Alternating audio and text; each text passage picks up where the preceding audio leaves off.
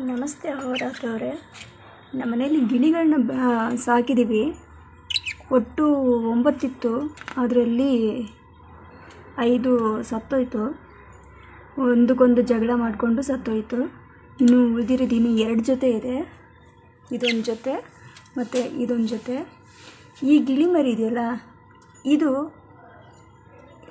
ಮೊಟ್ಟೆ ಇಡುತ್ತೆ, ಬಟ್ ಅದು ಮರಿನ ಮಾಡ್ತಾ ಇಲ್ಲ. ಸುಮಾರು ಮೊಟ್ಟೆಗಳಿಟ್ಟು ನೋಡಿ, ಅದಾಗೆ ಕುಕ್ಕಿ ಕುಕ್ಕಿ ಹಾಳು ಮಾಡ್ತಾ ಇದೆ. ಅದು ಮರಿನೇ ಮಾಡ್ತಾ ಇಲ್ಲ ಮೊಟ್ಟೆಗಳನ್ನ ಅದು ಮೊಟ್ಟೆ ಇಡುತ್ತೆ, ಅದು ಮರಿ ಮಾಡ್ತಾ ಇಲ್ಲ. ಇದಕ್ಕೆ ಏನಾದ್ರು ಸಜೆಷನ್ ಕೊಡ್ತೀರಾ? ನೋಡಮ್ಮಿ, ಹಕ್ಕಿಗಳಾಗಲಿ, ಪ್ರಾಣಿಗಳಾಗಲಿ ಪಂಜರದಲ್ಲಿಡಬಾರ್ದು. ನೀಲಾಕಾಶದ ಕೆಳಗೆ ಇರಬೇಕು. ಹಾಗಾಗಿ ಹಿಂದಿನ ಕಾಲದಲ್ಲಿ ಒಂದು ಪ್ರಾವರ್ಬ್ ಇತ್ತು. ಒಂದು ಮಾತಿತ್ತು. ಸುಭಾಷಿತ. ರಾಜರ ಕಾಲದಲ್ಲಿ ರಾಜರು ಬಂಗಾರದ ಪಂಜರ ಮಾಡಿ ಗಿಣಿಗಳನ್ನು ಸಾಕ್ತಾಯಿದ್ರು ಮಾತಾಡೋ ಗಿಣಿಗಳನ್ನು ಸಾಕ್ತಾಯಿದ್ರು ಸ್ವಲ್ಪ ದಿನ ಆದಮೇಲೆ ಅವ್ರ ಮೇಲೆ ಬೇರೆ ರಾಜರು ಅಟ್ಯಾಕ್ ಮಾಡಿ ಅವರು ಕೈದಿಗಳಾಗ್ತಾಯಿದ್ರು ಪಂಜರದಿಂದ ಪಂಜರ ಅಂತ ಅರ್ಥ. ಹಾಗಾಗಿ ಗೊತ್ತಿಲ್ಲದೇನೋ ಗೊತ್ತಿದ್ದೋ ನೀವೆಲ್ಲ ಹಕ್ಕಿಗಳನ್ನು ಪಂಜರದಲ್ಲಿ ಇಟ್ಟಿದ್ದೀರಿ ನೀವು ಅನ್ಕೋತೀರಿ ಅದಕ್ಕೆ ಆಹಾರ ಒಂದೇ ಸಾಕು ಅಂತ. ಅದು ತಪ್ಪದು. ಪ್ರಾಣಿ ಪಕ್ಷಿಗಳು ನಾಲ್ಕು ವಿಚಾರಕ್ಕಾಗಿ ಬದುಕತ್ತೆ. ಒಂದು ನಿರ್ಭಯ, ಆಹಾರ, ನಿದ್ದೆ ಮತ್ತು ವಂಶಾಭಿವೃದ್ಧಿ ಅಂತ. ಪ್ರತಿಯೊಂದು ಹೆಣ್ಣು ಪಕ್ಷಿ ಕೂಡ ಮೊಟ್ಟೆ ಇಡುತ್ತೆ. ಆದರೆ ಗಂಡು ಸೇರದೇ ಇರೋ ಹೆಣ್ಣು ಪಕ್ಷಿ, ಗಂಡು ಸೇರಿರುವಂಥ ಹೆಣ್ಣು ಪಕ್ಷಿ. ಗಂಡನ್ನು ಸೇರಿರುವಂಥ ಹೆಣ್ಣು ಪಕ್ಷಿ ಇಟ್ಟ ಮೊಟ್ಟೆಗಳು ಮಾತ್ರ ಮರಿಯಾಗುತ್ತೆ.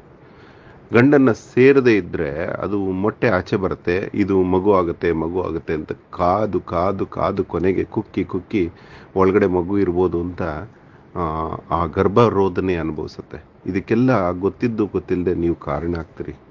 ಆಯಿತು ಇನ್ನು ಇವು ಆಚೆ ಹೋಗಿ ಕೂಡ ಬದುಕೋದು ಸ್ವಲ್ಪ ಕಷ್ಟ ಆಗುತ್ತೆ ನಿಮಗೂ ತುಂಬ ದುಃಖ ಆಗುತ್ತೆ. ಇದನ್ನು ಆದಷ್ಟು ಸ್ವತಂತ್ರವಾಗಿ ಸಾಕೋಕೆ ಪ್ರಯತ್ನ ಪಡಿ.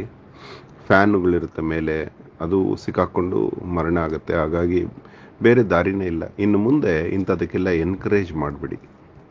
ಹಕ್ಕಿ ನಿಮ್ಮ ಜೊತೆ ಇರಬೇಕು. ಆ ರೀತಿ ಬದುಕೋದಾದರೆ ಬದುಕಿಡಿ ಸಂಜೆ ಬಂದು ನಿಮ್ಮ ಹತ್ರ ಆಹಾರ ತಿಂದು ಹೋದರೆ ಹೋಗಲಿ.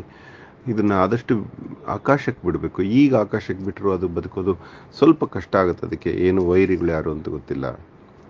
ಮತ್ತು ಆ ಹಕ್ಕಿಗಳಲ್ಲಿ ಗಂಡೆಷ್ಟಿದೆ, ಹೆಣ್ಣೆಷ್ಟಿದೆ ಗೊತ್ತಿಲ್ಲ. ಅದರದೇ ಸ್ವಜಾತಿನ ಇಲ್ಲ ಗೊತ್ತಿಲ್ಲ. ಇನ್ನು ಜಗಳ ಆಡಿಕೊಂಡು ಸತ್ತಿರೋವೆಲ್ಲ ಮೋಸ್ಟ್ಲಿ ಗಂಡು ಹಕ್ಕಿಗಳು ಅನ್ಸುತ್ತೆ. ಯಾಕಂದರೆ ಅದು ಹೆಣ್ಣಿಗಾಗಿ ಜಗಳ ಆಡುತ್ತೆ.